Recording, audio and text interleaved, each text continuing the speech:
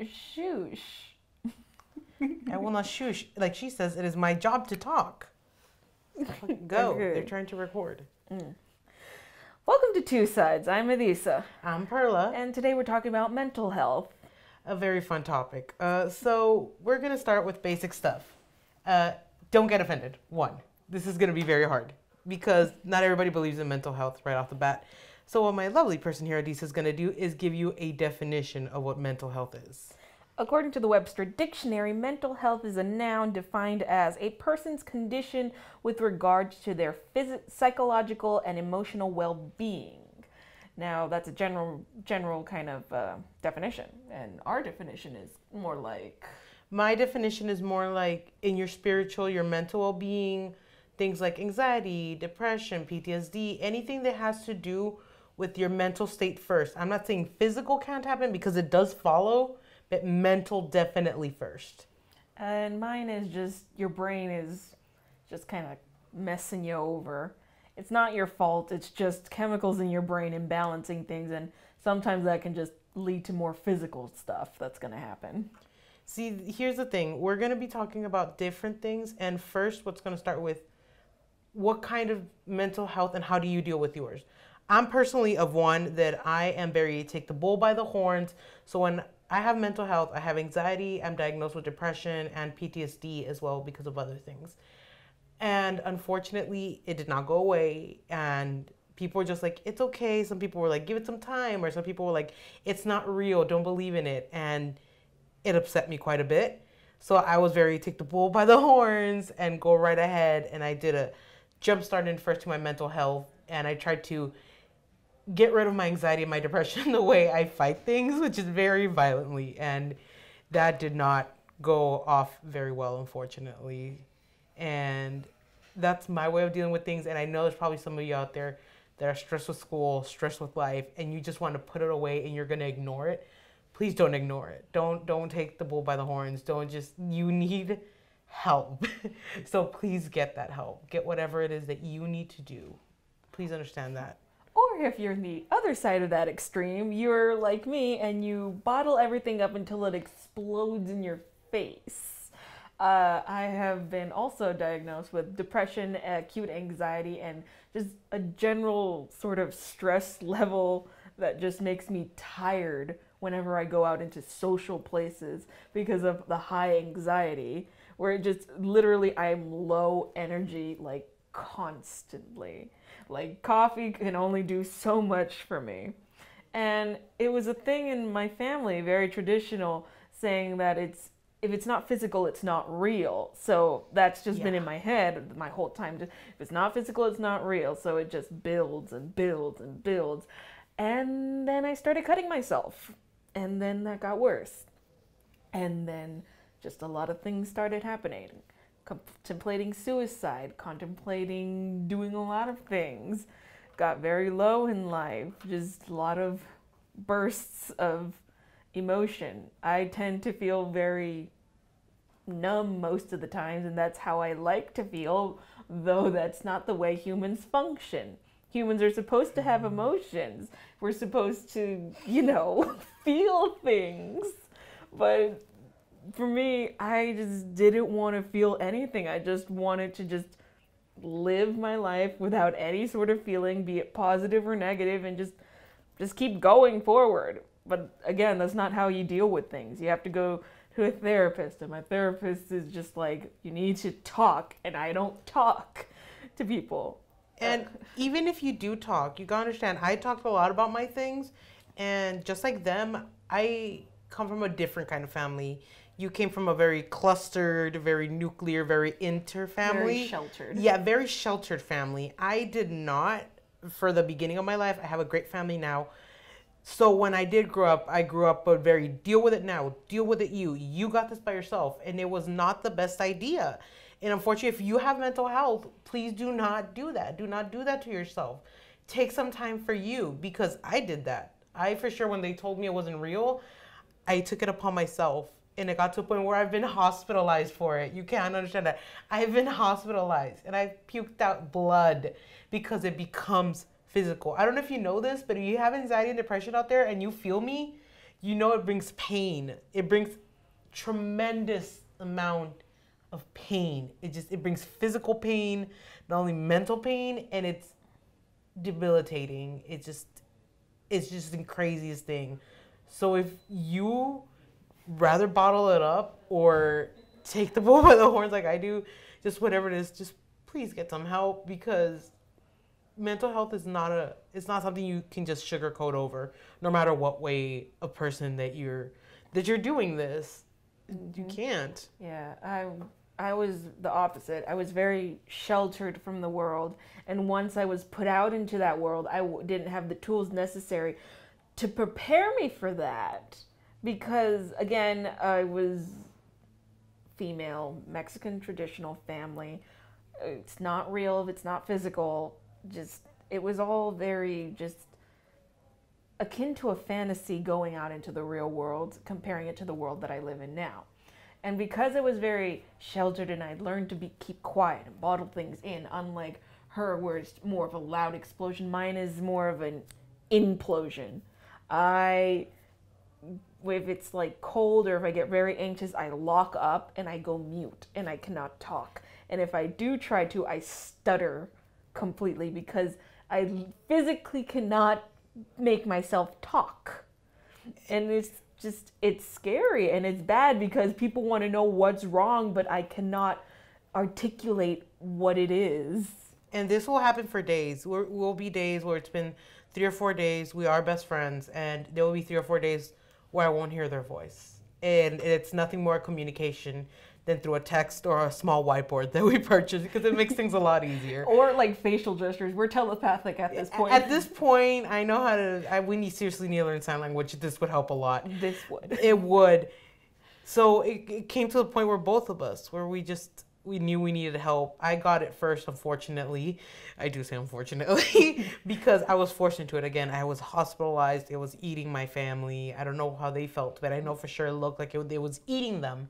So I got help. Yeah, you were very stubborn about it. I was very stubborn about it again because I'm a college student. I'm resilient. I ain't got no time for this, which is the biggest lie all of us will tell ourselves. We're college students. We're stressed on every level possible. If you're taking more than three classes, I pray for you. That's all I'm gonna say. Especially certain majors, they just kill you. So, forced to go to therapy. I was a hypocrite and I'm like, you need to go to therapy, it'll help you. And you're just like, what? And she's just like, why don't you go to therapy? I'm like, I'm fine. Bullshit. Eh, because again, I had that mentality that all my family says, like, it's just in your head. You need to pray. You need to do all this. Go in your fa- and I don't.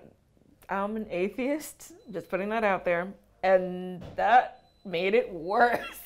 Not the atheism, but praying, faith, just piling all that up, and it just made all the other things worse. Being part of the LGBT, being a female biologically, being in a traditional home that wants you to be a housewife with children. And I didn't speak my truth until uh, the day I went to a doctor and they did a general mental screening, and they're just like, you need to go get a psychiatric scan. And that is when my parents finally gave in and, like, okay, maybe this is a problem. And it is, and it's that kind of thing it, that you need. You need a scan because a lot of people won't believe these feelings. We live in a culture where everyone wants attention, where everyone wants to see things. You get what I mean? So people don't really understand that this is a problem and it kills a lot of people, unfortunately. Recently, here in our own UTSA, they did, they put up flags for how many teens had died in college after asking for help. And the number was uh, it made me want to tear up because even they asked for help and even like that they didn't make it and, i'm lucky that i got the help. I went to therapy. Uh, i had i had uh, one person that helped me in particular miss melissa. I love you pieces. Um, and yeah i would cry my eyes out and that's what you need sometimes. You just need that support. You need you learn tricks when you go to therapy. They help you with basic stuff like that. Again all this is not something you can cure. Anxiety, depression, all this, it's not. Yeah. Sometimes there will be therapists that are going to be like, "Oh, we can cure you of this or you'll be cured of that." It's mental health isn't something that can be cured. It's not like a band-aid that can be slapped on a knee. It's something that's going to take time and effort and we all know none of us got that effort. I know i don't. Especially as college students because we don't have time to take care of ourselves. You know how they always there's always that whatever you use instagram facebook snapchat there's always that treat yourself thing kind of going on. And you really should take that seriously because you don't you don't. Honestly you say you do but you don't.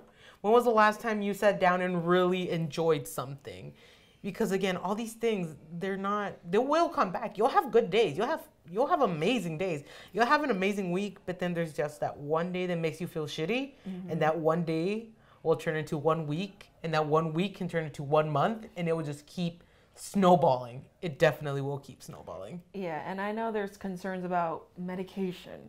Medication is a very tricky thing especially when dealing with mental health because i know from you dosage matters. Dosage does matter a lot. Again, for people who don't want to believe in mental health, if you don't want to believe that it's it's something in your brain, we can break it down for you scientifically.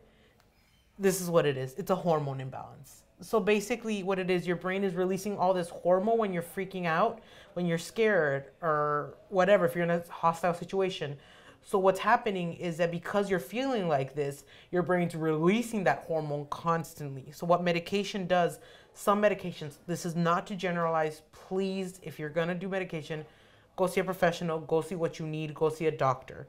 But for me, that's the kind of thing I had. So I take medication personally to lower down all that, to make me calm enough to be me again. And dosage matters. There will be days where I'd be so paranoid because the dosage was so high. I would be scared of my two year old cousin. She's two, and I wouldn't want her to touch me. All because the dosage was like a gram too high. Which is, think about that. A two year old, you being scared of a two year old, that's fucking crazy. And I, my doctors have recommended me dosages, eh, but again with the family they put into your head that medication no bueno that means you're legit crazy i I've been seriously considering it because my anxiety has gotten to the point where I can't eat. I have probably developed an eating disorder because I, my body is so anxious it cannot keep down food or I cannot eat as much as I used to. And I'm a hefty person and I need those calories, but I can't. Like, I physically can't or like sometimes like it'll get so bad like if the if the room is just a smidge too cold i'll start convulsing and curling up in myself. I'll fall flat on my face convulsing on the floor and not being able to talk because it's cold. And because my anxiety could not handle it because it's just like we're in danger let's go. Yeah and it's basic stuff like that. In teens like this again i have medication. They don't and it's crazy to think that people don't talk about this because people see medication as a weakness, first off. And I know it's scary and it will be for the first couple of days. I went through that. And if you do have medication out there and you can hear this, please don't stop taking it. That is a big giant withdrawal. Do not trust her. Do not. I did that. Trust and that was it was bad. I puked my guts out for about a week because my body could not maintain homeostasis, which is like perfect level because it was like, why did you stop? What's going on? We had it one day, we don't have it the next. And usually it takes a couple days. So for the first couple days, you're like, oh, I'm great. I'm, I'm fantastic. I don't need those meds. Give it like, give, trust me, give it like four days and you'll be wanting to cry because everything hurts again. Because again, anxiety, depression, PTSD, if you're, and let me clear this up, all this can come from anywhere. Okay, we have it because of different reasons. So you have it because, well, very sheltered, very shock shelled, very shy, low self esteem, uh, bullying, genetics. Genetics is a big thing. Yeah, genetics does play a role in it, and most people will think that it yeah. doesn't. It's just that some people were raised differently than others, and if you're if you're meant to say your feelings, great. You're probably dealing it a lot better than most of us.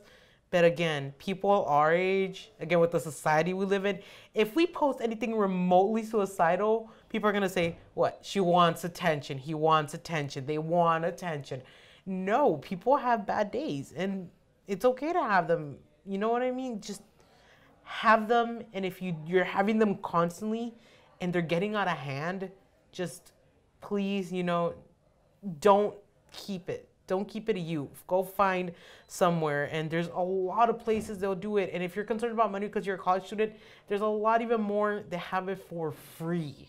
It's just crazy to me. Mm-hmm. The wellness center here in UTSA, they have free counseling. Yes. They give prescriptions. They have a walk-in Wednesday that you can go in and like get counseling for that day and also schedule consistent counseling with certain therapists. I am going to that and so are you. Yeah, I'm yeah. trying to get into that too. So we're going to that, both of that, and that's kind of sort of been helping. And it does, it really does help to put into perspective because again, I just want to reiterate, especially a lot because of what's going on right now in the world and stuff. You don't think that you're as important or you don't think that you're as valid. The word that word has been upsetting me everywhere nowadays. You are, and mental health is definitely a big issue. So for people that out there that say it's not real, go piss off. I'm sorry. It's definitely real and probably a lot more people than you think have it. You would be surprised at how many people have it and just refuse to admit it. It's not that people are magically being diagnosed with depression and anxiety. No, it's just recently we've just found words for it. People have always had it. PTSD was known as like the soldier syndrome or sadness.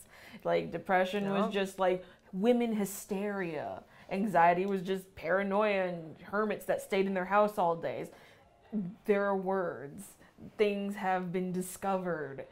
And as an English major, it very much angers me that people use mental health as the basis of like those angsty writers and like yes, people artists they use their pain to sometimes produce their art, but it does not mean that it is pleasant.